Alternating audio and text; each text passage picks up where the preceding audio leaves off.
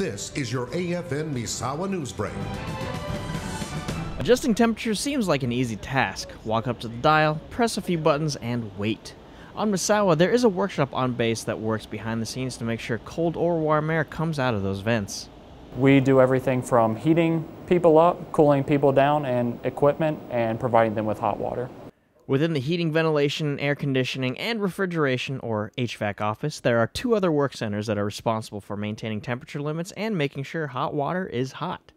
In a nutshell, the IICS con, uh, shop, Integrated Industrial Control Shop, uh, monitors and installs controlling equipment to the HVAC systems throughout the base. That is so that we can stay within the temperature regulation that we have for the base.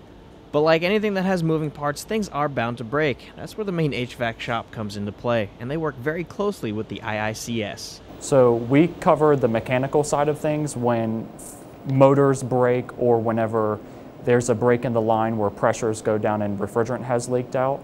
And this shop is in charge of showing us temperatures remotely. So before we even go out to the job, we can know what the building is telling us. IICS's main responsibility is making sure that every system they monitor follows strict temperature settings, and these settings end up saving Misawa millions of dollars on their energy usage costs. It is an unfortunate part of my job that uh, not everybody is going to be comfortable with the temperatures that are set, but it is my job to enforce the rules that have been given to me.